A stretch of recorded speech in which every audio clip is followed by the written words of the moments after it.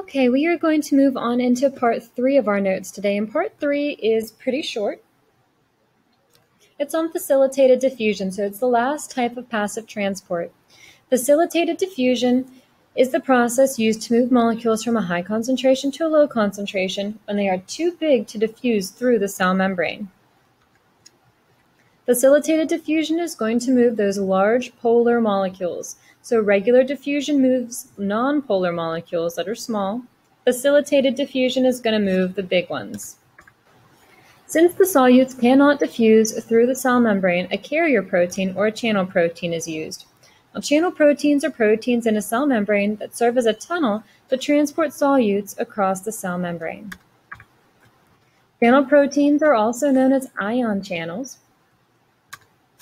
An ion channel is going to transport something that is charged, like sodium or potassium, calcium or chlorine. And looking at the chemical structure there, you can see Na plus, K plus, Cl minus. That is telling you that there is a charge on those ions.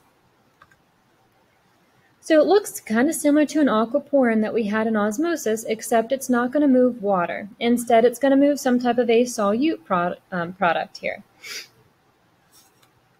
So here's outside of the cell, here's the inside of the cell, and that cell membrane is saying, no, you cannot come in here. So the channel protein is embedded into the cell membrane, and that way these little phospholipids won't feel those charged particles moving through them.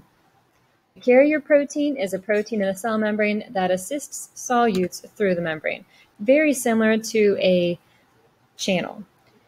They do this by allowing the solute to bind to the protein on one side, and the protein then changes its shape, and lastly, the protein deposits the solutes on the other side of the cell membrane. So the difference is it's not always open. It closes. So it opens up, allows a particle in, and then it closes, kind of like a teeter-totter, and allows it inside. Now likewise, it can also take things inside of the cell, suck them back in, and spit them back out. Facilitated diffusion is often used by your cells in the transport of glucose, which is sugar. Your cells need glucose in order to continue functioning. It's that carbohydrate, so short-term energy. Glucose is way too big to fit directly through the phospholipids. So when glucose levels in the cell are low, the cell is going to use proteins in the cell membrane to transport the glucose into the cell. So this is what it looks like when we're moving glucose through. The glucose molecule is going to fit into this channel protein. The channel protein will kind of bind around it. It'll ever so slightly change shape to conform to that glucose molecule. That's what a conformational change is. It's a shape change, and it's opening up down here, allowing that glucose into the cell. I'm going to show you a quick little recap video of the stuff we've been going over for the past couple of days.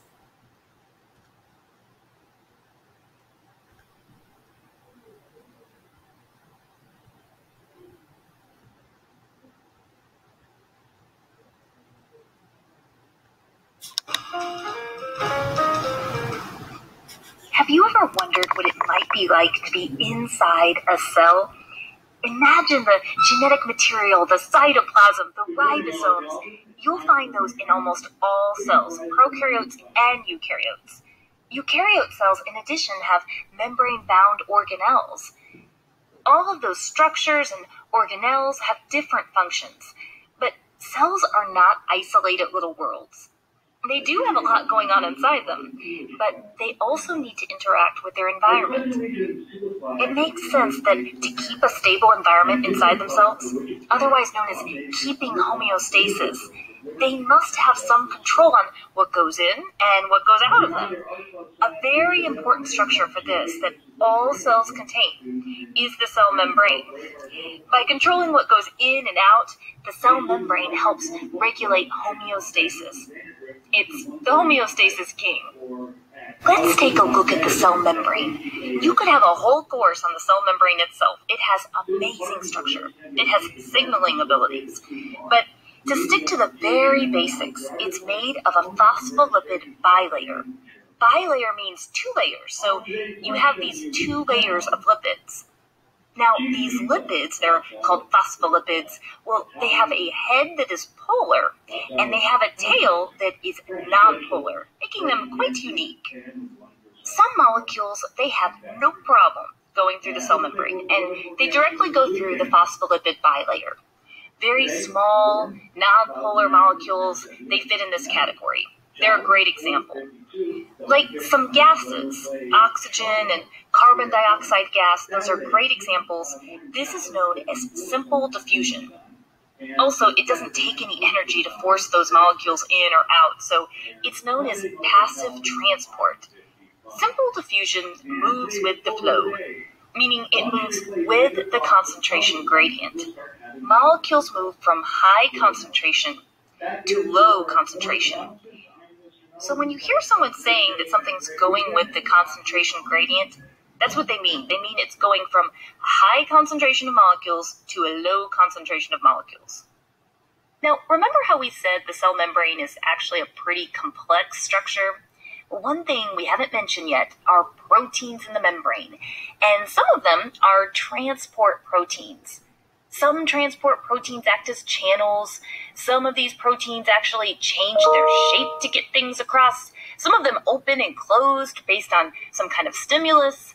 All of these are good things because it's helping with molecules that may be too big to cross the membrane on their own, or molecules that are polar and therefore need the help of a transport protein. This is known as facilitated diffusion.